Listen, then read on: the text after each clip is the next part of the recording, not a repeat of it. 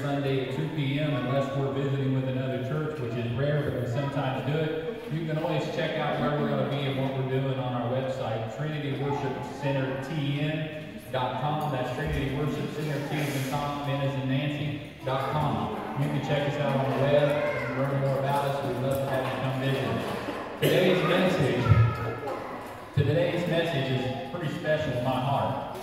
Um, it's called the, the Great Misconception. Everybody get that?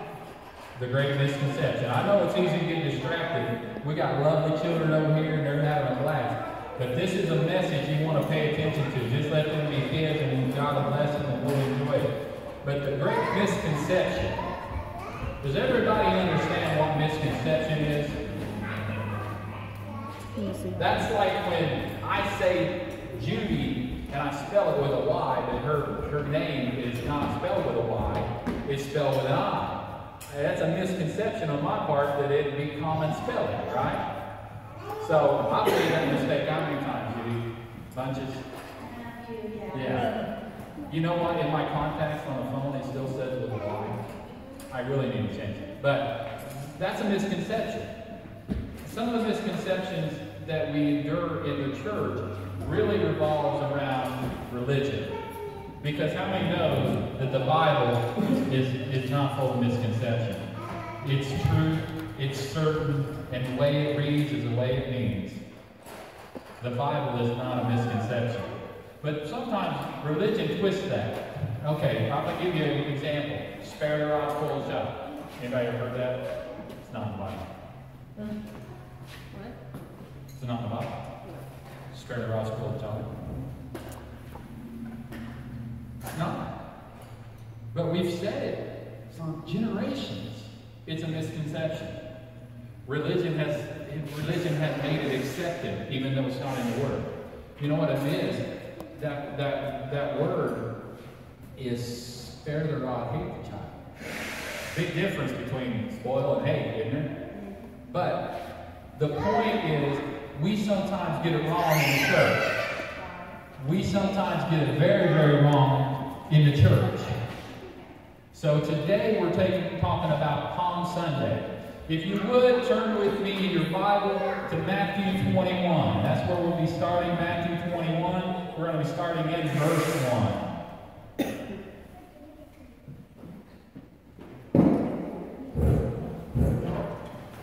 Matthew 21, verse 1.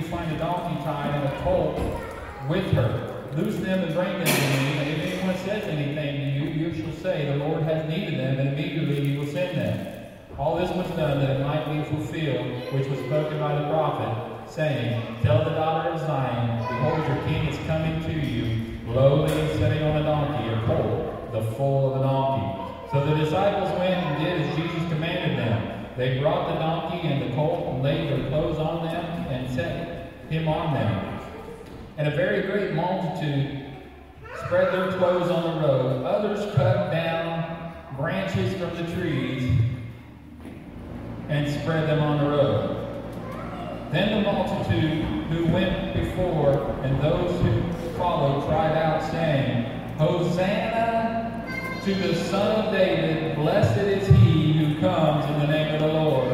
Hosanna in the highest. Everybody know this story? The week of Passover, five days before Passover, Jesus comes into Jerusalem. They've been hearing about all the things that he's been doing in Galilee. Do you remember last Sunday when, when Pastor Victoria talked about how he was his fame had spread through the region and he was in Galilee. She took the map around and showed you, remember? That he was in the region of Galilee preaching and doing miracles. And what happened was his fame spread. It spread so far that it got to Jerusalem and people were anticipating because they knew Passover was coming. It was one of the three big feasts of Jews, and every male that was a Jew had to come to Jerusalem during that feast. So they knew that Jesus would be in Jerusalem during that feast. So they were excited. They had a misconception. They believed he was the Messiah and he had come to restore the kingship of David going to kick the Roman rulers into the Mediterranean. He was going to set up his throne and he was going to rule like David ruled and nobody could touch him again. That's what they believed. Seriously. That's what they expected out of Jesus. That he was going to come into Jerusalem on this Passover. He was going to kick out the Romans. He was going to ascend to the throne. Herod would be gone. The uh, Pontius Pilate would be gone. And that he would reign as Messiah and King over the Jews. He gets to town riding on a donkey.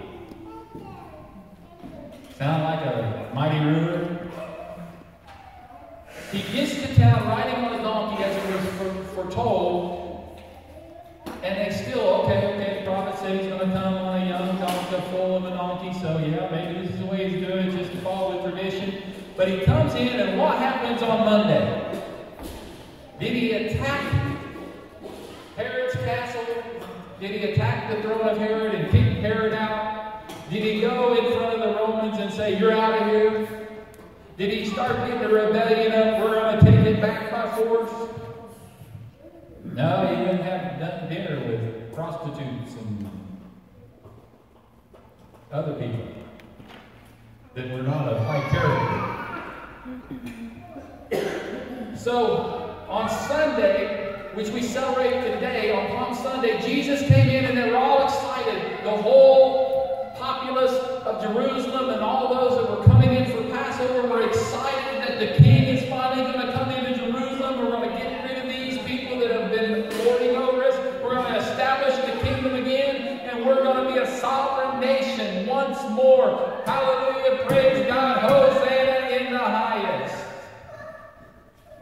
But it didn't happen. Did not happen at all. You know, Judas Iscariot, the betrayer, the one of the twelve that betrayed he thought for sure Jesus was going to do that very thing. He thought for sure Jesus was going to come in and he was going to take over and set up the kingship. There was a big there was a big group of people that thought that way. This is a man. Look at the stuff he's doing. This is the Messiah. And nobody else could do this stuff. This is the one that's prophesied that his kingdom will never end.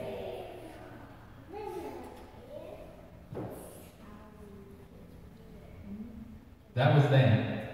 They had a misconception, didn't they? We know, we know from reading the Bible what happened with Jesus, that he didn't come to set up a physical kingdom at that time. He came to set up a spiritual kingdom that endures to this day. How many is a member of that kingdom? I know I'm a member of that kingdom. He's my king. He's my Lord. I'm a member of his kingdom.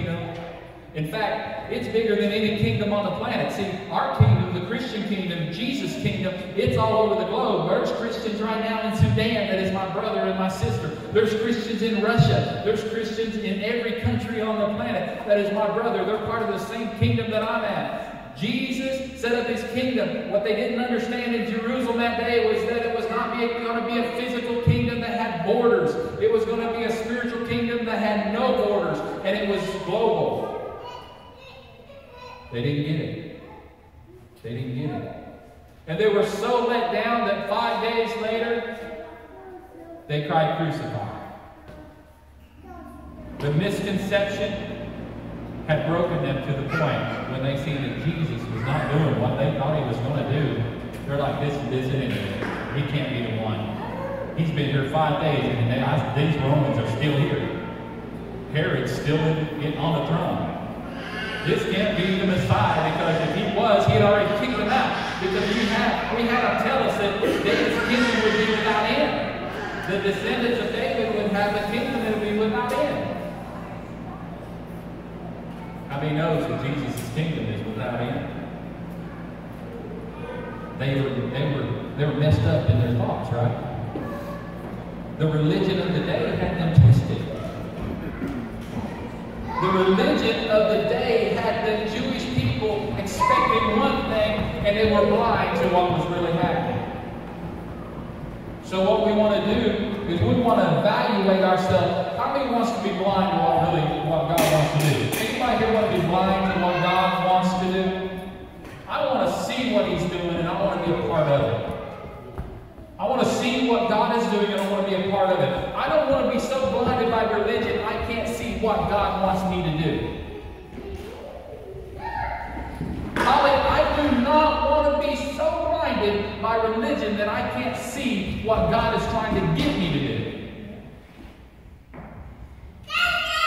Chris, I do not want to miss what God wants me to do because some church said we do it this way. I want to do it like God said to do it, regardless of what man says about it. Amen? Everybody awake? Good. We're going to go down to Matthew 10 and go down to verse 34.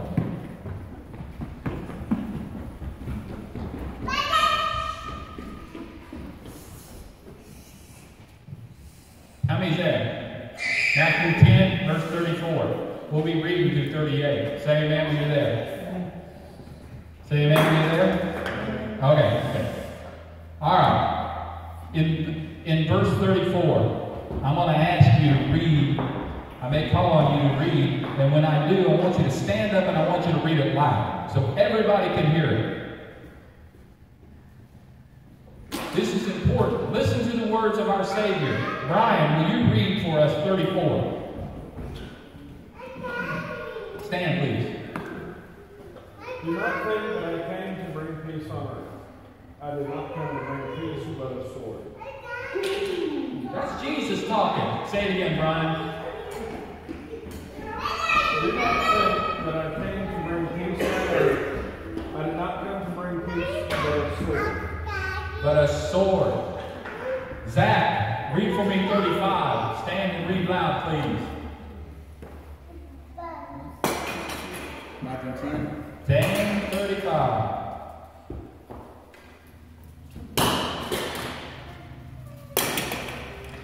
For I am come to set a man at variance against his father, and the daughter against her mother, and the daughter-in-law against her mother. Ooh, that's even getting better. Alicia, will you read 36?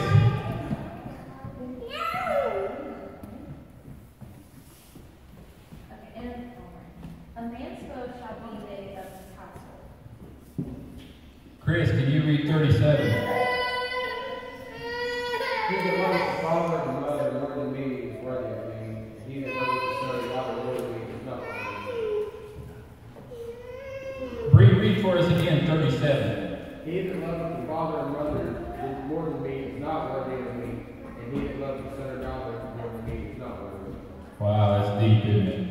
All right, Bree, will you read for us uh, 38? And he who does not take his cross and follow after me is not worthy of me. That's some deep scripture, isn't it? What suggests of what Jesus is saying? Holly? that he needs to be above everybody else. Everyone. You love your husband? I do. Not that much though. Sorry, Zach, but you need to be down here when it comes to Jesus. You're second. Yeah. You're great, man. I really, I love you. But you can't get me to heaven, and you can't get your wife to heaven, but Jesus can get all of us to heaven. So you see why it's more important that we love Him more than we love our family. Chris, you got beautiful babies, beautiful kids. You need to love God more than you love them. Bree, you're my oldest child. Because of you, I don't drink like a fish, I don't cuss like a sailor, and I ain't as mean as a snake no more. Because a brown-eyed little girl straightened me out. You're welcome. But I want you to know, as much as I love you, I love God more. Because I want to be worthy of Him. I want to love Him with all that I am so that I can be worthy of Him. I want you to understand this is a principle. God did not send Jesus to bring peace. He sent him to bring the sword, to divide the wheat from the chaff, to divide the lamb from the goats. He's bringing a, a sword to divide those that serve him from those that will reject him. You have to understand that there's going to be one day when people just will reject him and there's nothing you can do about that. You just got to go on for Christ and pray for them. Pray for them until you die, until you leave this earth and you, you, are then with your Savior. Pray for them. But there's a chance that their free will will not be overcome and they will reject him even unto death eternal. That's the sword that Jesus is talking about. That is the sword that Jesus is talking about.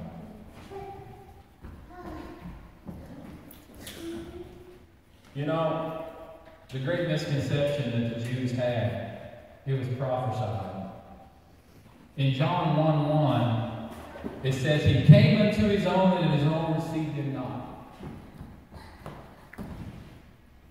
You know, think a lot of Cassie. I, I, you know, I've been thinking of her since you mentioned it. Cassie is supposed to be here. Cassie should be here. And Cassie's under attack. But we're going to continue to pray for Cassie. And, and so we're, we're not giving up on that. But you know what? There are a lot of Cassies in, in, in the world that need Jesus.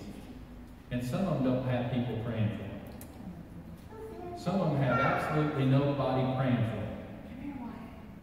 There, there are people out there. In fact, I'm going to just give you a straight. There was a time in my life where I fell away from God, and I was, I was bad. And the Holy Spirit, when my mother passed away, said, The last person on the planet will pray for you has died. That turned me around.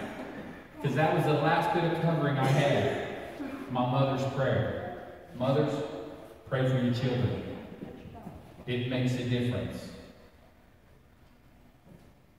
I'm telling you, there are people out there, there's a whole Jewish nation out there that is still rejecting the Messiah. And there's just a remnant of those Jewish people that are, that are embracing it. What a misconception. Acts 1 15. You can turn there if you want, or you can just listen to me read it. Acts 1.15, it says, And in those days Peter stood up in the midst of the disciples, altogether the number of the names was about 120, and said, Well, we're not going to go into what he said. We're not even going to go into where he was at. But you know, after three and a half years of ministry in, in, in what we call Judea, Jesus had 120 of faithful. Jesus, the Son of God, had 120 that would stay faithful after he was gone. Left the message. Right then and there, 120. It said the name of those disciples. Well, well, let me read it again so you don't dispute what I'm saying.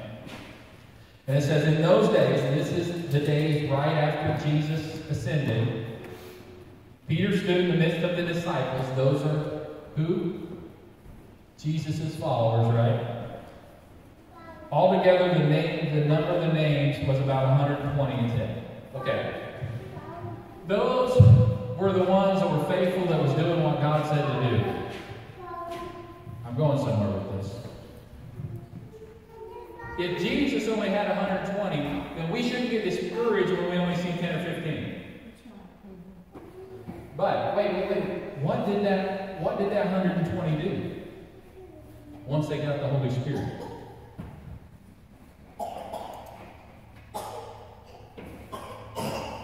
That 120 changed the world. 120 changed the world. How many is a disciple of Christ here? If you're a disciple, raise your hand. I'm a disciple. You know what that means? Student. I'm one who learns. I want to learn from Jesus. I want to learn from Jesus. You know what Jesus did? He went to prepare a place for you, but he sent the Holy Spirit in his stead. So you want to learn from Jesus, you want to send. What is the Holy Spirit? He's a substitute teacher, right? Jesus went to heaven for a place for you. He's your high priest, mediator. He's there. He hears your prayer. But the Holy Spirit is a substitute teacher. And the Holy Spirit is here to teach us. The Holy Spirit will teach us. If you allow the Holy Spirit to lead you and teach you, you will be discipled. Amen? So we, we read that Jesus had a, 120 disciples when, when the church kicked off uh, on the day of Pentecost and the Holy Spirit fell, and then wow, it just like 3,000 added that day. Just, and it just kept multiplying. but, you know, they were all convinced that Jesus was going to set up his kingdom, and he didn't. But let's let's let's go right to today. Anybody ever been to any other church but this one? Yeah. So you got an idea what some other churches operate like, right? You know, today our misconception in the church is the notion that religion is the way of getting to heaven. And that we can meet our obligations through religion. Does, does that sound familiar? Have you ever heard that, that religion is the way? Have you ever seen God religion at all, or commercials? There is a movement that would, would have you enslaved in religion, and if you just follow the rules of what that pastor in that church is telling you, then you're going to be okay. Do you know that there's some churches don't even want you to read your own Bible? There are some churches that, that they don't even want you to pray. They want you to just come to them and they'll pray for you. There are some religious organizations that want to take you and put themselves in between you and God. And this is just messed up because what Jesus said is in Matthew 5, he said that Jesus said he came to fulfill the law, meaning its requirements he met. So these religious requirements and people and churches and pastors are trying to put on you, that's garbage. Get out of that stuff. God wants to have a personal relationship with you. How many have ever heard that they can't do something from God? God ever told them they can't do anything? Or asked them not to do something? Maybe I'm not getting my point across. I know um, God asked you to fast chocolate. God has asked me to do different things. He had me um, fast sodas for a while. He had me to fast cheeseburgers for a while. Boy, that's tough. but God asked us, is there any verse in the Bible that says, Thou shalt not eat chocolate? No. Well, if you find it, don't show it. But, um, but is there anything in there that says I shouldn't have a cheeseburger? Is there anything in there that says I shouldn't have soda? But yet, why, why would God ask that of me? Why would that, God ask that of her?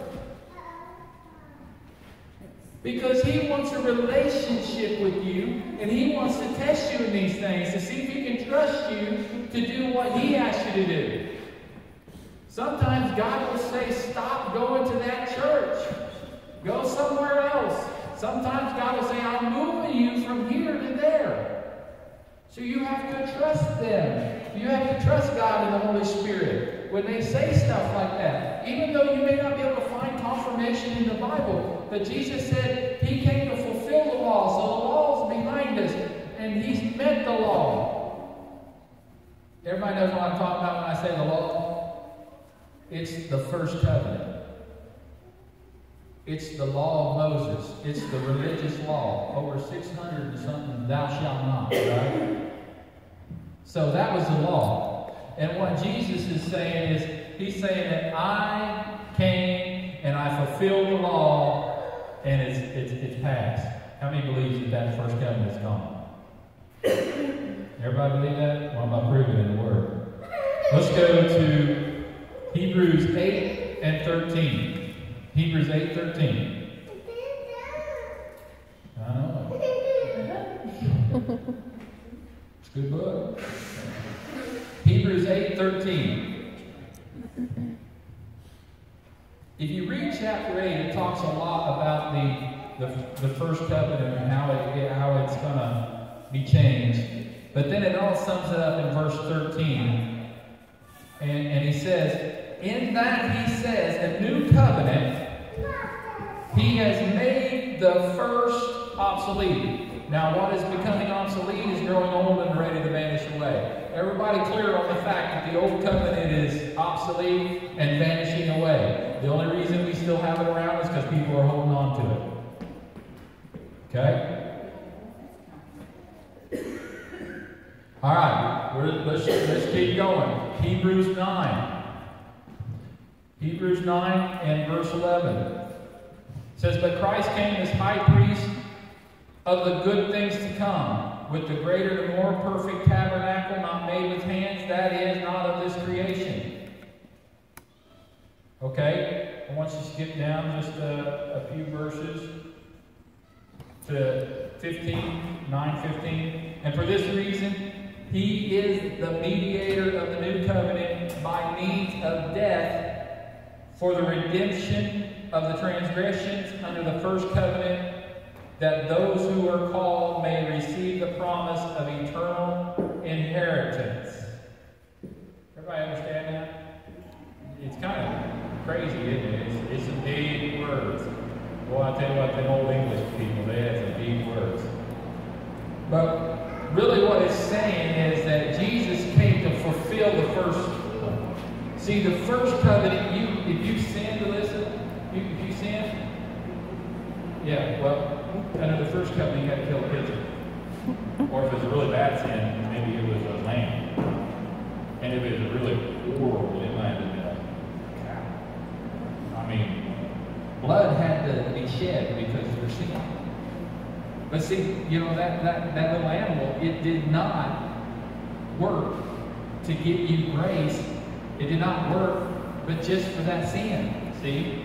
But when you sinned the next time, there was still there was still another need. You still had to have another need for your sin. So the next time, Brian, that you sinned, you had to come back with another pigeon.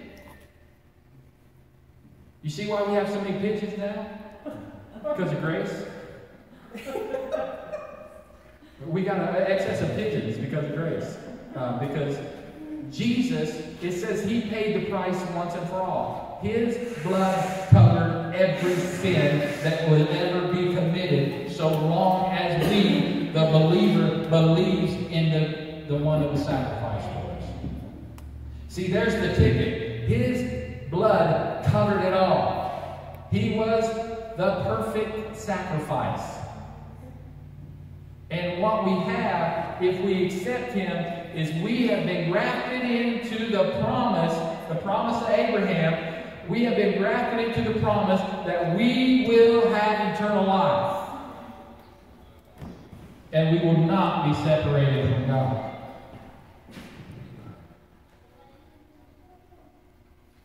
But, but, but, there's always a but in. Here we go. But let's now go to Romans chapter 3. And I know it's getting a little long, but let's just bear with me here. Romans chapter 3. And this this goes deep. So you may want to circle this, highlight it. If you're on a Bible app, highlight it, do whatever. But we were just talking about Jesus being the mediator, the high priest, the sacrifice that, that covers it all. Let's see what Paul has to say in verse 21. Romans 3:21. But now the righteousness of God apart from the law is revealed, being witnessed by the law and the prophets. In verse 21, he's saying, The righteousness of God apart from the first covenant is revealed, and being witnessed by the first covenant and the prophets. Even the righteousness of God through faith in Jesus Christ to all and on all who believe. For there is no difference. For all have sinned and fall short of the glory of God. Being justified freely by his grace through the redemption that is in Jesus Christ.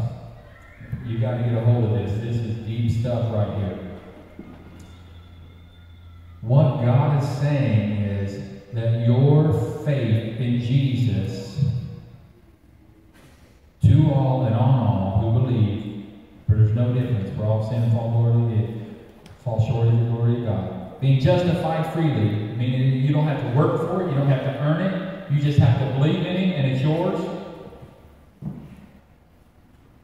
Through the new redemption that is in Jesus Christ whom God set forth as the propitiation by his blood through faith to demonstrate his righteousness, because in his forbearance God has passed over the sins that were previously committed to demonstrate at the present time his righteousness, that he might be just and the justifier of the one who has faith in Jesus. I don't know if you get that, but this is a revelation right here.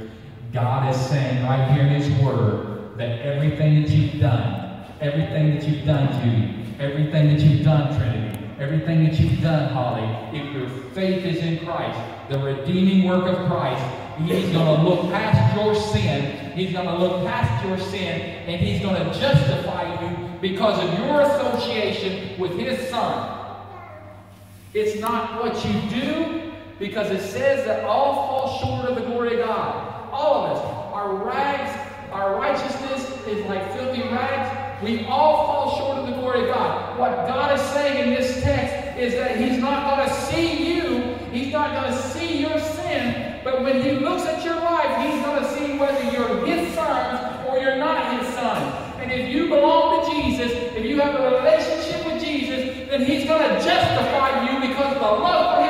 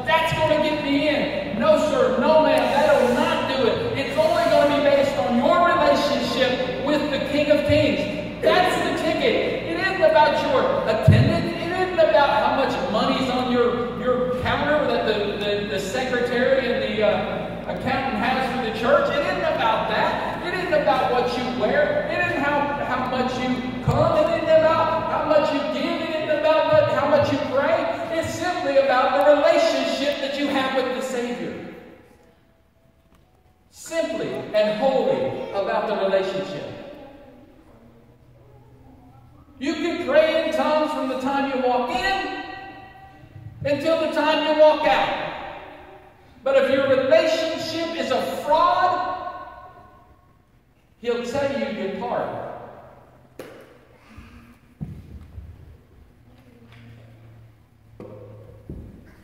Are you getting what I'm saying? That the misconception in the church, so much of the church is that if I do, then I'll get. That's the way work, that's the way the world is, right? Is that, is that Trinity? Is that the way the world? if you stop showing up to work and stop doing your job, are they going to give you grace? mercy. Even if you believe you weren't there.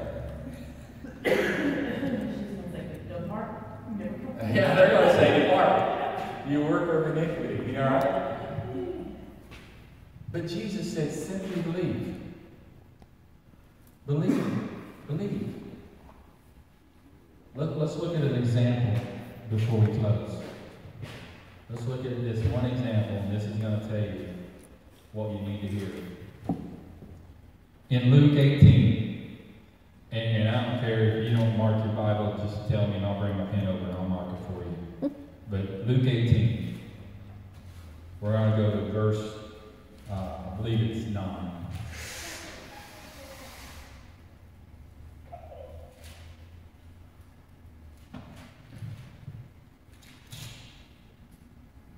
Say amen when you're there. Only heard a couple. Everybody here? Oh, amen. Alright. All your Bibles over there. That's cool. I'm good with that. That's why we got the paper ones up there. Yeah. You might want to mark that for the, the, the next person. We that- got that reads it. Yeah.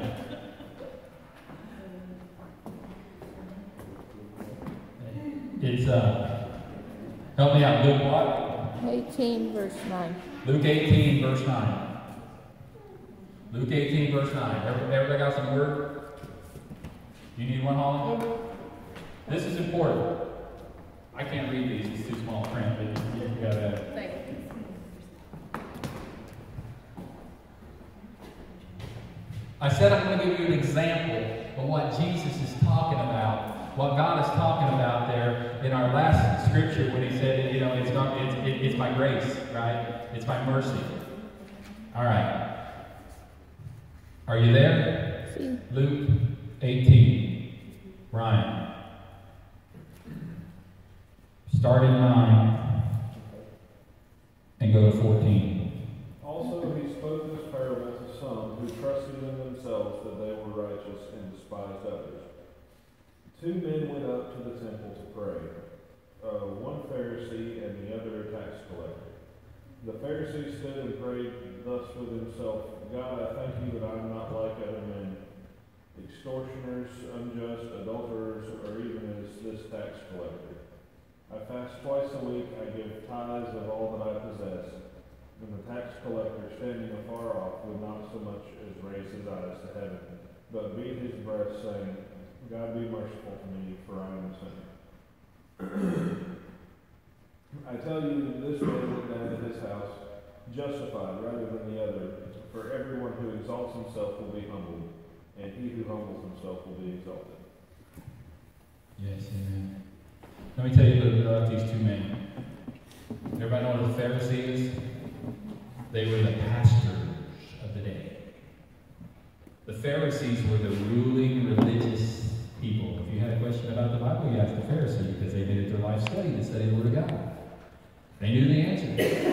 They were the religious body of the, The Pharisees, pious, religious, dressed a certain way, acted a certain way, even said God a certain way. See, I say God, they would say God. Let's break it wrong. See, the Pharisees had a way of doing things that was really traditional and religious. Even when they prayed, they want to sound good, even when they only they could hear it. They want to sound, they want their prayers to be good, even when they could hear it. Did anything in the prayer, the Pharisees' prayer, have anything about humility?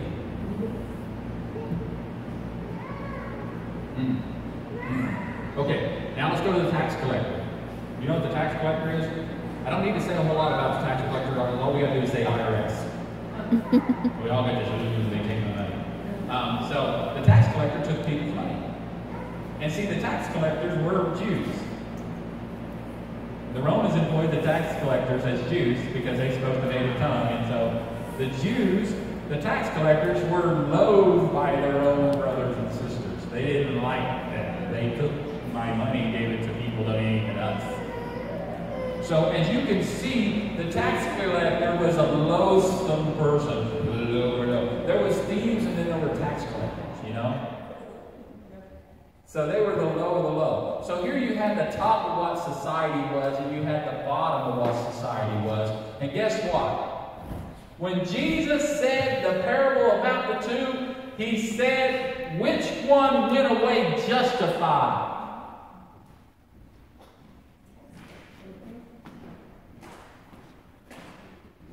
Is it the one that was puffed up in his?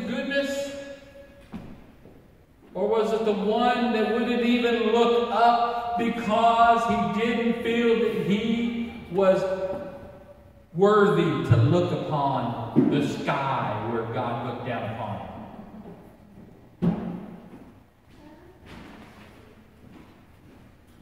See, it's all about relationship, Wyatt.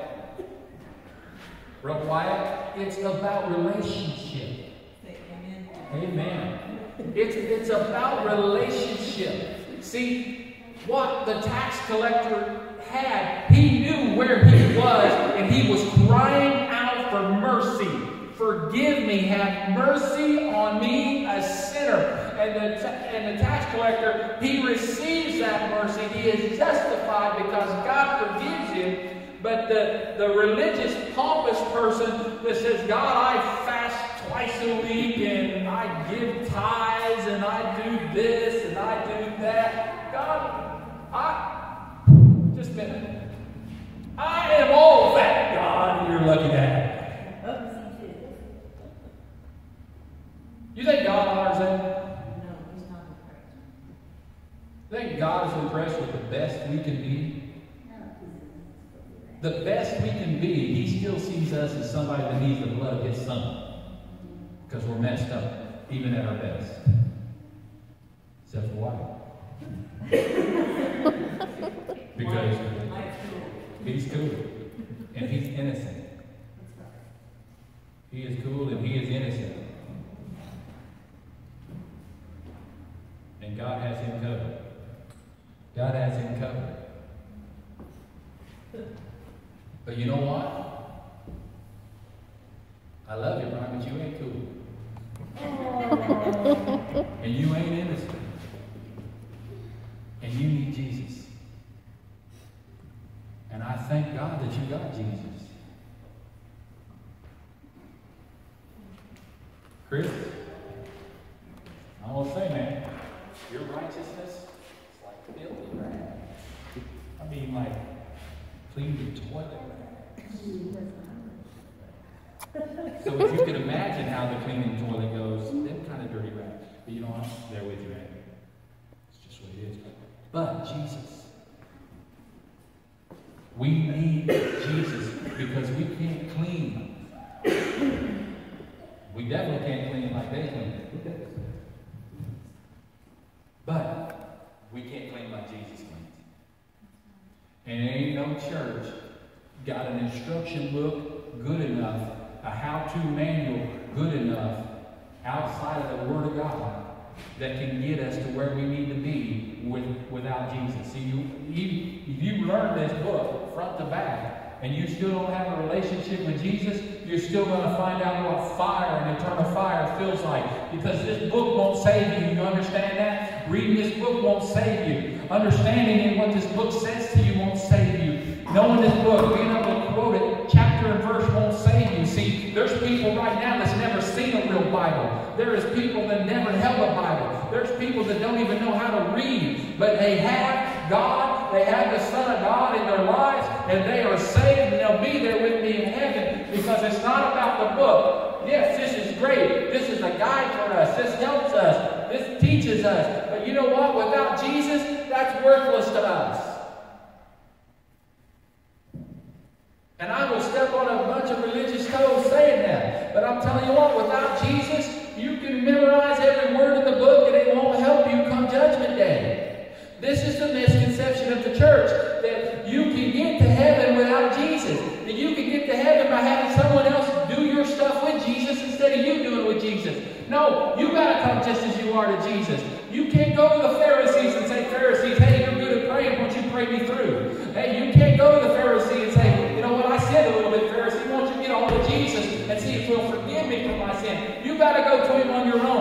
gotta, you gotta experience Jesus for yourself. It's all about the relationship with Him. It's all about the relationship. If you have it, you're good. If you don't, you're not. If you believe in Him, you're good. If you don't, you're not. There's no this side and no that side. It's just you're with Him or you're not. You see, you can't be in the middle. You can't say, I got just enough religion to get in. Because it's not religion that gets you in. Stood outside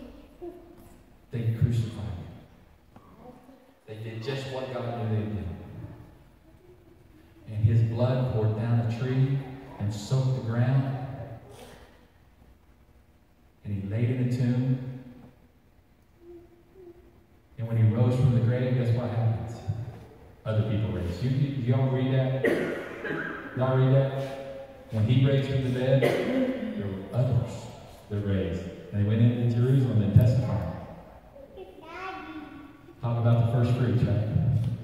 We just watched a video on that, right? But they they crucified him on Passover. We'll talk more about that next week. At the very hour when the lamb was crucified, or when the lamb was sacrificed at the temple, he was sacrificed on the cross. He became the perfect sacrifice. He became your high priest, your mediator, your Lord, and your Savior. And I'm here to tell you do not listen to me, everyone. I want everybody's attention. Hey, Wyatt, this is good for you. I want everybody's attention. Jesus is your King. He is your King, and He died for you that He could be your high priest. He died that He could be your high priest, and He could be your sacrifice, so that you could be justified. So, whatever you do, whether God takes you from our church and puts you somewhere else, wherever you go, do not let religion interfere with your relationship with Christ. Amen? Amen. Let's get ourselves ready for worship. Right?